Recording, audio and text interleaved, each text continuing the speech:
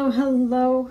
William Barr, in his infinite lack of wisdom, has decided to not prosecute the police officer who uh, murdered Eric Gardner with an illegal chokehold after and, and while he was dying eric gardner said i can't breathe 11 times but uh, department of justice decided they're not going to prosecute. Specifically william barr decided they were not he, he, he was not going to we're not we're not prosecuting.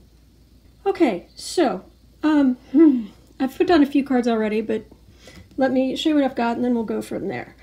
In the past, you know, this is what people feel that the the police and that what the justice system means to minorities. It's just in I mean look this is what happened. And this is this is Eric Gardner. Suffocating. In the past. All right. Base of the reading you have institutional garbage, lies and ridiculousness and garbage, institutionalized. Above the reading, you have the, the strength of the Department of Justice and Barr deciding what gets prosecuted and what doesn't and he's in a position of strength and he can do whatever he wants. What I absolutely love so far is at the center of the reading, poor William Barr, feeling feeling put upon, feeling attacked. Meanwhile, someone really was attacked, and he does nothing. Consciously chooses to do nothing. All right, so what's going to happen here? In general, or specifically with Barr, let me just quickly put these down. Home environment, hopes and fears, what other people see,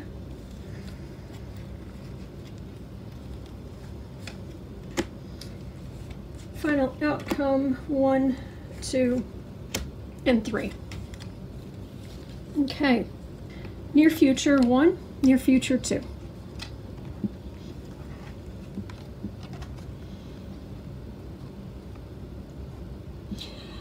I know what I want this to mean. I want this to mean that Barr's going to be under attack and he's going to be looking for a new job.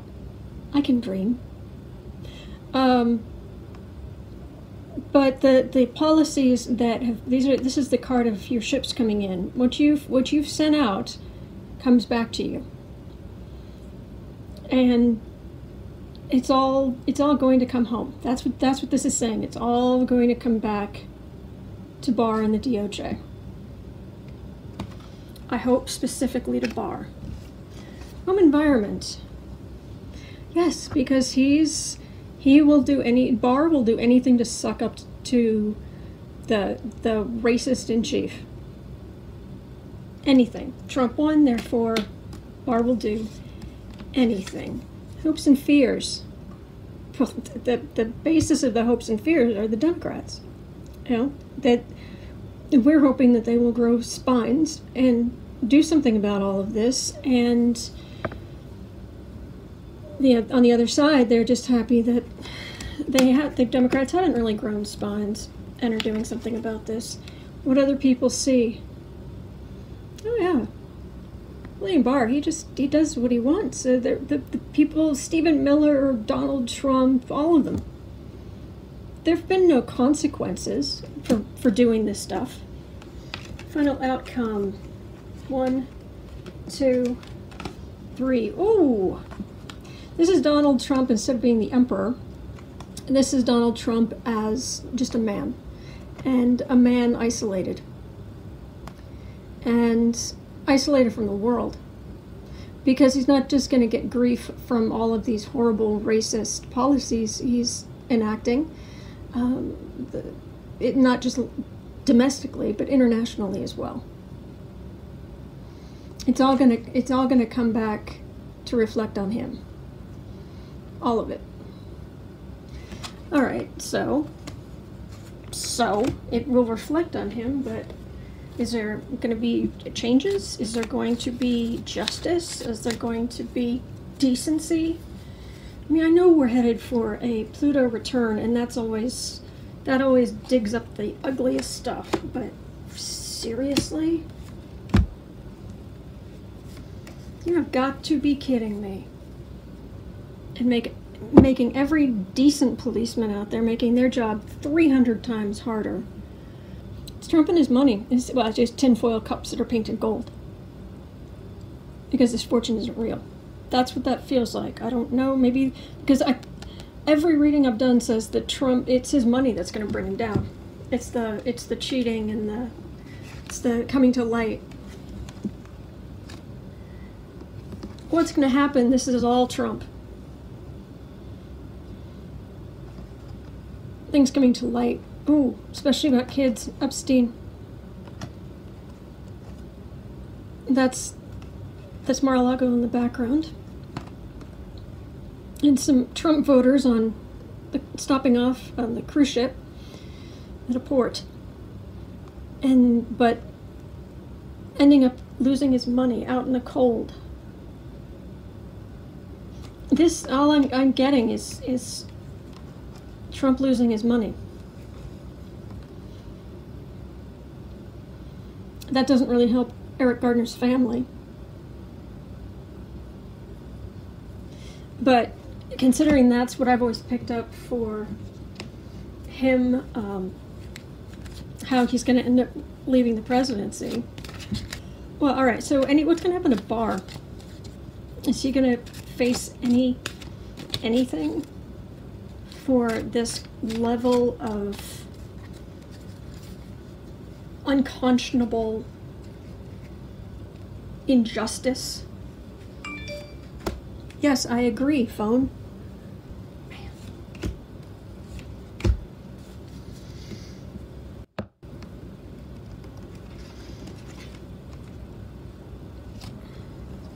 Barr's going to have more people attacking him and you notice how the the yellow, the coloring of these three is very similar. There's all kind of a gentle. That's all democratic energy. Demanding mercy and kindness and and saying that America is not this bigoted we there there are there are bigoted racist parts of our country, but as Americans, this is not, that is not what we are. This is what we are. Sword of truth, temperance, uh, community outreach. Of course, they're bad people. Of course, we'll arrest them. But, because that's at the end, and that, that is the card of corruption. And it's, it feels like it's separated from this.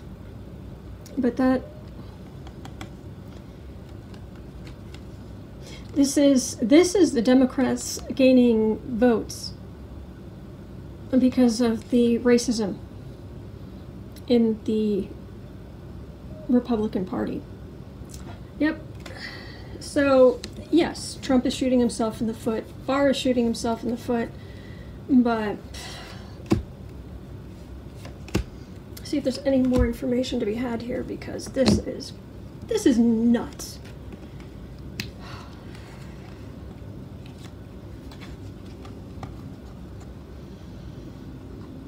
And it's an, it's an ongoing internal fight. This is my card for America. And this is an ongoing argument. And to some extent, yes, I agree that to a small extent, Trump is the messenger. He's the symptom. But he's a symptom with the nuclear codes. He's a symptom with the entire Secret Service's back, living in the White House.